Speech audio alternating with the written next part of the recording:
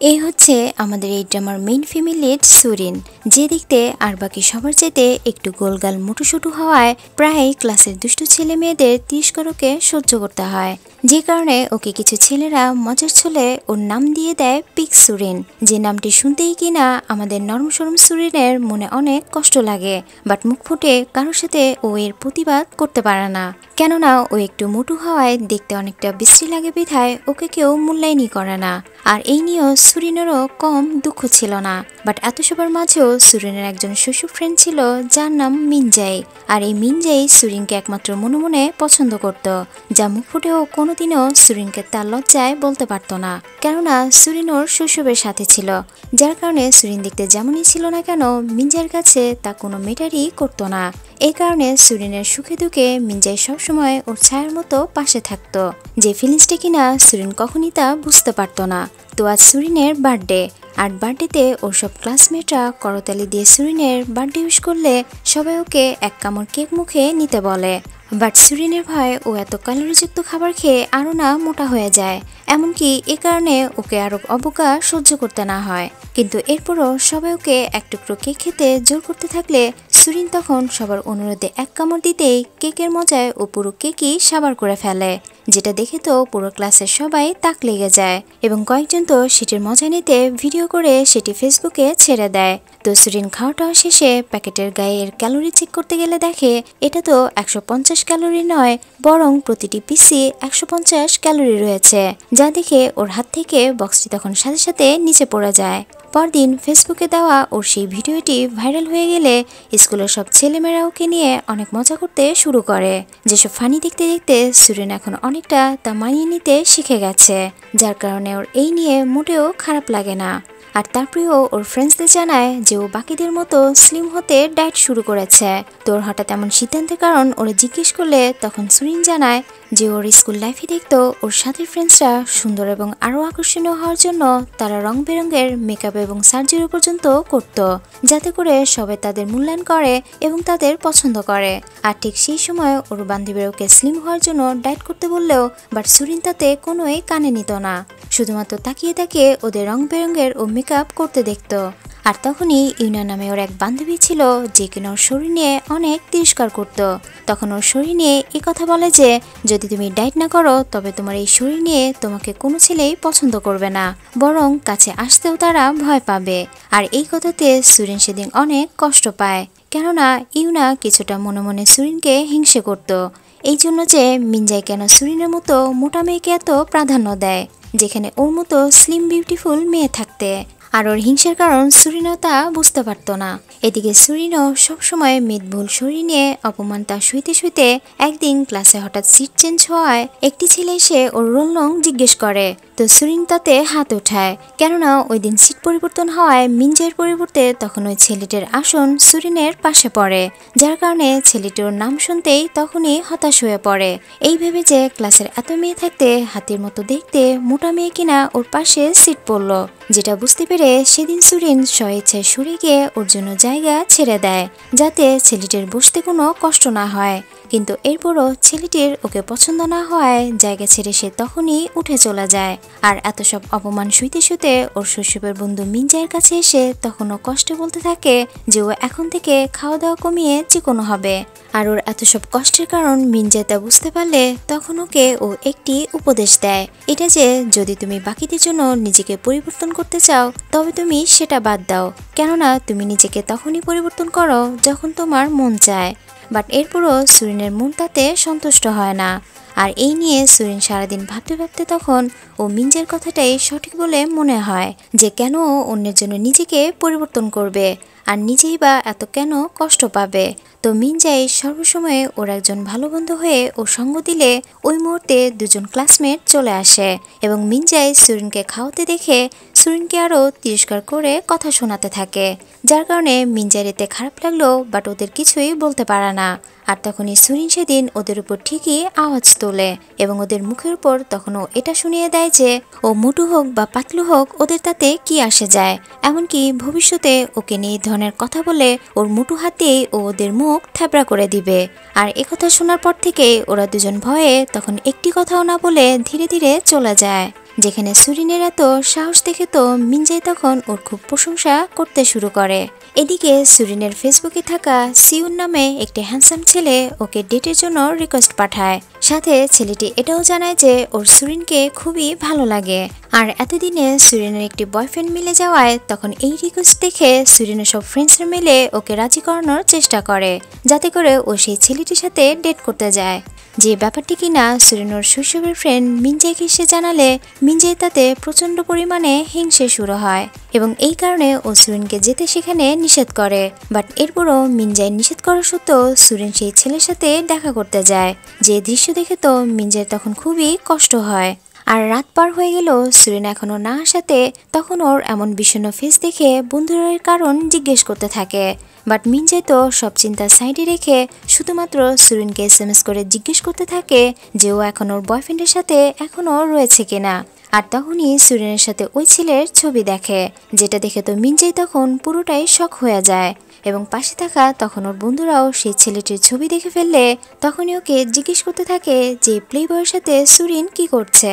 কেননা ও তো সহচরণ মেয়ে দেখলেই তাদের পটিয়ে ডেট করার চেষ্টা করে। আর এদিকে সিউর নামের সেই ছেলেটি সুরিনকে একটি বারে নিয়ে আসে এবং সেখানে সুরিনকে শুনিয়ে ও নিজের স্মার্টনেসের খুবই প্রশংসা করতে শুরু করে যে, ওর মতো স্মার্ট ছেলের সাথে কত মেয়েরাই ডেট করতে চাচ্ছে। আর একথা বলতেই ও এক পর্যায়ে সুরিনকে ধরে কিস করতেই যাবে সুরিন তখন দ্রুত সরে যায় এবং বলে যে ও এখানে এসব করতে আসেনি। আর একথা শোনার পর থেকে ছেলেটি তখন অহংকার করে বলতে থাকে যে ওর মতো হাতির সাথে কে ডেট করতে আসবে। যে কথা শুনতে সুরিনা তখন বুঝে যায় যে ছেলেটি আসলে ওকে ভালোবাসতে নয়, বরং ওর দুর্বলতার সে সুযোগ নিতে এসেছে। আর এই কারণে ওর মিঞ্জের বলা সে কথাগুলো মনে পড়ে যায় এবং ছেলেটিকে তখন ও এক ঘুষি মারা ওয়ার্নিং করে ও সেখান থেকে চলে আসে। আর দেখে যে মিঞ্জে এখন ওর জন্য দাঁড়িয়ে সেখানে ওয়েট করছে। আর তখন ছেলেটার কথা জিজ্ঞেস করতে সুরিন জানায় যে ওর নাক বরাবর ও একটি ঘুষি মেরে এখানে চলে এসেছে। এটা শুনেতে মিঞ্জাই তখন খুবই খুশি হয়ে যায়। এরপর একদিন দুজন কথা বলাকালে হঠাৎ ওদের মাঝখানে ইউনা নামের সুরিনের সেই বান্ধবীটিও চলে আসে, যে কিনা মিনজাইকে খুব পছন্দ করে। আর মিনজাইকে ওইভাবে ধরতে দেখায় সুরিনের তাতে খুবই খারাপ লাগে। তখন ইউনা বলে, দেখো তো, আমাদের দুজনকে কাপল হিসাবে মানিয়েছে কিনা। এ কথা শুনে তো সুরিন তখন নিজের দিকে একটু তাকিয়ে বলে যে হ্যাঁ তোমাদের খুবই মানিয়েছে। যেটা শুনে তো মিনজাই তখন চুপ হয়ে থাকলে ইউনা তো একরকম জোর করে ও মিনজাইকে টেনে ওখান থেকে নিয়ে চলে যায়। যে ভালো লাগার কথাটাও সুরিনও তখনও মিনজাইকে জানাতে পারে না। বাট যখনই ও মিনজাইয়ের সাথে কথা বলার চেষ্টা করে, তখনই ইউনা এসে ইচ্ছে করে ও মিনজাইকে সেখান থেকে টেনে নিয়ে যায়। যাতে করে মিনজাই এবং সুরিনের মধ্যে কিছুটা দূরত্ব থাকে। আর এটা দেখে তখন সুরিনও ভেবে নেয় হয়তো ওদের দুজনের মধ্যে ওর না আসাই বরং উচিত। কেননা ওর মিতবহুল সুরে নিয়ে ও মিঞ্জের কোনো দিক থেকেই যোগ্য নয়। আর এভাবে সুরিন ধীরে ধীরে তখন মিঞ্জের থেকে ও দূরে সরে যায় এবং ওর সাথে ও যোগাযোগও কম করে দেয় এবং নিজের অতীতের স্যাড মুহূর্তগুলো ভাবতে থাকে যে ও যখনই কোনো ছেলেকে প্রপোজ করতে যায়, তখনই কোনো না কোনো অজুহাত দেখিয়ে তারা ওর থেকে দূরে সরে যেত এবং তারা গিয়ে স্লিম মেয়েদের সাথে রিলেশনে যুক্ত হতো। আর এসব ভেবে সুরিন তখন মন থেকে আরও কষ্ট পায়। এই ভেবে যে হয়তো মিনজাইও বাকিদের মধ্যে স্লিম ইউনাকে পছন্দ করে বিধায় ওকে সে এভাবে ইগনোর করছে। যার কারণে এক সপ্তাহ পার হয়ে গেলেও কেউ কারোই খোঁজ নেয় না এবং মিনজাইও কয়েকদিনও ক্লাসেও আসে না। এরপর একদিন মিনজাইয়ের সাথে ওর ক্লাসে দেখা হলে সুরিন জিজ্ঞেস করে যে ও মোটা বলে ও কি বাকিদের মতো ওকেও কি ইগনোর করছে কিনা?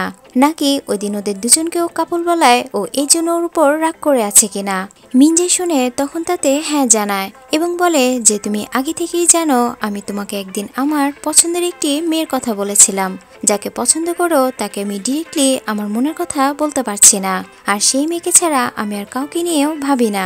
সুরিং তখন এই কথা শুনে ওর কথার অর্থ বুঝতে পারলে জানায় যে আমিও তোমাকে অনেক পছন্দ করি। যে কথা কিনা আমি এতদিন তোমাকে বলতে গিয়েও বলতে পারছিলাম না। মিঞ্জে তখন এ কথা শুনে খুশি হয়ে সুরিনের ঠোঁটে কিস করে এবং বলে, যে কথাটিও দেরিতে বললেও বাট ওর ফিলিংস বোঝার জন্য ওকেও ধন্যবাদ জানায়। আর এভাবে ওদের কিউট সম্পর্কটি ধীরে ধীরে এগোতে থাকলে মিনজাই ওদের সম্পর্কের কথা সবাইকে জানিয়ে দিতে চাইল বাট সুরিন এই বিষয়ে প্রচণ্ড বিরোধিতা করে। কেননা ও ভালো করেই জানে ওদের এই রিলেশনের কথা স্কুলের সব ফ্রেন্ডসরা জানতে পারলে ওদের নিয়ে আর ওরা হাসি ঠাট্টা করতে শুরু করবে। আর ঠিক অমনি একদিন মিনজাই দুষ্টুমি করে ওর গালে কিস করতেই দুটি ছেলে সাথে সাথে দেখে ফেলে, যার কারণে ওরা সুরিনকে নিয়ে তখন তিরস্কার করতে শুরু করলে সুরিনেতে লজ্জায় ও সেখান থেকে দ্রুত চলে আসে। এরপর এক খেলার প্রতিযোগিতায় সুরিন অংশগ্রহণ করলে সবাই ওর সাপোর্ট করতে থাকে। আর তখন ওর বারবারই ইউনার বলা কথাগুলো ওর মনে পড়তে থাকে। কেননা ইউনা সবসময় ওকে খোঁচা মেরে এটা বলতো যে, ওর মধ্যে এমন কি আছে যার জন্য মিনজাই ওকে এত পছন্দ করে? কারণ ওর মতো কুচিত মেয়েকে কোনো ছেলেরই পছন্দ হওয়ার কথা নয়। আর এসব ভাবতে ভাবতে ও ইনার দিকে তাকালে তখন ওর মনের দুর্বলতায় ও হেরে যাওয়ার উপক্রম হয়। বাট মন থেকে ও যখনই এই বলে নিজের জোর আনে যে যাই বলুক না কেন ও কারও কথায় নিজেকে কখনো জাজ করবে না। আর একথা ভেবেই তখন হেরে যাওয়ার পরিবর্তে বরং আরও খেলায় জিতে যায়। এবং দুজনকে একসাথে দেখে সুরিন তখন মাইক নিয়ে ইউনার উদ্দেশ্যে অ্যানাউন্স করে বলে যে ওর বয়ফ্রেন্ড মিঞ্জের হাতটি ছেড়ে যেন ইউনা সরে যায়। যে কথা শুনে তো ইউনা এতে কিছুটা থতমত হয়ে গেলে বাট মিঞ্জে শুনে তো পুরোই খুশি হয়। এই ভেবে যে সুরিন এতদিনে ওকে নিজের বয়ফ্রেন্ড হিসেবে সবার সামনে ওর পরিচয় দিয়েছে। অন্যদিকে সুরিনের আরেক বান্ধবী গঞ্জু সারাদিনও মেকআপ নিয়ে পড়ে থাকে, এই কারণে যে সবাই ওকে পছন্দ করবে বলে। বাট এত কিছুর পরেও ও যখন সুরিনকে দেখে, ও কোনো মেকআপ ছাড়াই, কোনো বডি ফিটনেস ছাড়াই, ওর বয়ফ্রেন্ডের সাথে ও দিব্যি ভালো আছে, তখনই ওর মন এতে খারাপ হয়ে যায়। এই কারণে যে ও এত মোটা হয়েও কীভাবে এত হাসি খুশি থাকে। যেখানে ওর সব কিছু থেকেও ও কেন সবসময় এত আনহ্যাপি ফিল করছে। আর এই বিষয়টি তখন ওর মনে খুব প্যারা দিলে ওর সাথে থাকা বন্ধুর সাথে ও খারাপ বিহেভ করতে শুরু করে। বাট বন্ধুটি কখনো ওর ব্যবহার কষ্ট পেল সেটা ওকে কখনো বুঝতে দেয় না। আর তার কারণ হলো বন্ধুটি হাইটে একটু কম বলে গঞ্জু ওকে এক ইঞ্চিও পাত্তা দেয় না। তো সবাই যে যার মতো এতটা হাসি খুশি দেখে গঞ্জুকে কেউ পাত্তা না দেওয়ায় গঞ্জু এতে তখন রাগ করে ও সেখান থেকে উঠে চলে আসে। আর তখন ফ্রেন্ডিও ওর পিছু পিছু আসে এবং ওর চোখে কি হয়েছে বলে তা জানতে জিজ্ঞেস করলে গঞ্জু তখন ওকে এক ধমকে আবারও চুপ করিয়ে রাখে। ফ্রেন্ডিও তখন ও কষ্টে বলে ওঠে, আজ যখন তোমার চোখে অ্যাক্সিডেন্ট হওয়া সত্ত্বেও তোমাকে কেউ মূল্যায়ন করছে না বলে তোমার যেমন খুব খারাপ লাগছে, ঠিক এভাবেই আমার হাইট কম বলে তুমি যখন আমাকে কষ্ট দিয়ে প্রতিদিন এভাবে কথা বলো, আমারও তেমন তাতে খুব খারাপ লাগে। আর এ কথা বলে বন্ধুটি সেখান থেকে চলে গেলে গঞ্জু তখন ওর মনের অবস্থাটা ও এতদিনে ফিল করতে পারে। আর তখন এই কষ্টে ও সুরিনের কাছে সে সব কিছু বললে, সুরিন তখন সব অভিমান ভুলে গিয়ে ওর বন্ধুটিকে মূল্যায়ন করতে বলে। অন্যদিকে ইউনার পাস্ট দেখানো হয়, যেখানে ইউনা এক সময় সুইডেনের মতো মোটু ছিল বলে সবাই ওকে নিয়ে মজা করত, শুধুমাত্র একজন ছাড়া, যে কিনা সবসময় ওকে ভালো মেয়ে জানতো। আর এই কারণে ইউনা তখন থেকে ও মিনজাইকে পছন্দ করতে শুরু করে এবং এই সিদ্ধান্ত নেয় যে একমাত্র ও মিনজাইয়ের জন্য চিকন হবে, যাতে মিনজাই ওকে পছন্দ করে। বাট যার জন্য ও এত কিছু করে, সে মিনজাই যখন মোটু সুরেনের প্রেমে পড়ে যায়, তখন থেকেই ও সুরেনকে দেখা মাত্রই হিংসে করতে শুরু করে। আর এসব কারণে ইউনার সবসময় মন খারাপ থাকলে একদিন ওর পাস্টের সেই মোটু পিকচার কেউ একজন সেটি ফেসবুকে ছেড়ে দেয় এবং ওকে নিয়ে পুরো ক্লাসে তখন এক হাসির রোল পড়ে যায়, যে অপমানে ইউনো তখন লজ্জায় কোনো কথা বলতে না পারলে সেদিন সুরিনেই তখন সেই ছেলেদের উদ্দেশ্যে ও একাই প্রতিবাদ করে, যে তোমাদের কারও কোনো অধিকারই নেই কাউকে ছোট করার। কারণ যে তোমরাই কারও কুচ্ছির সাইড দেখলে তাকে নিয়ে মজা করা শুরু করো, আবার সেই তোমরাই তাকে পরিবর্তন হতে দেখল তার দোষ ধরো। আর তাই সে দেখতে কেমন হবে সেটা তার নিজের উপরেই ডিপেন্ড করবে, তোমরা নয়। আর ওর এ কথার সাথে তখন পুরো ক্লাসই ওর সাথে সাপোর্ট করতে থাকে। যেখানে দুষ্ট ছেলেগুলো, তখন পুরো তুমি ওরা চুপ হয়ে যায়। এতে করে ইনরও তখন সুরিনের উপর এতদিনের অভিমান ওর সাথে সাথে ভেঙে যায়। এবং ও এটাও বুঝতে পারে যে কারও ভালোবাসা পেতে কখনো কারও ফেস বা ফিগার দেখে নয়, বরং তার ব্যক্তিত্বের উপরে সবকিছু নির্ভর করে, যা মিনজাই সুরিয়ানকে করে। কেননা সুরেন এত ভালো বলেই মিনজাই ওকে এতটা পছন্দ করে। আর এই জন্য সুরিয়ানের মতো মেয়ের এতটা হ্যাপিনেস থাকার কারণ জিজ্ঞেস করলে তখন সুরিয়ান জানায়, যেদিন থেকে আমি সবার সমালোচনাকে অগ্রাহ্য করে আমার নিজেকে আমি ভালোবাসতে শিখেছি, সেদিন থেকে আমি আমার সব দুঃখ ভুলে গিয়েছে। এবং এরপর থেকেই ইউনা তখন সুরিয়ানের মতোই ওর ডায়েট ভুলে গিয়ে বরং ওর নিজের যেটা ইচ্ছে হয় ও সেটাই মন মতো খায়। এবং নিজেকে অন্য জন্য পরিবর্তন বাদ দিয়ে বরং নিজেকে ভালোবাসতে শেখে এবং এরই সাথে এই পুরো ড্রামাটি এখানেই শেষ হয়।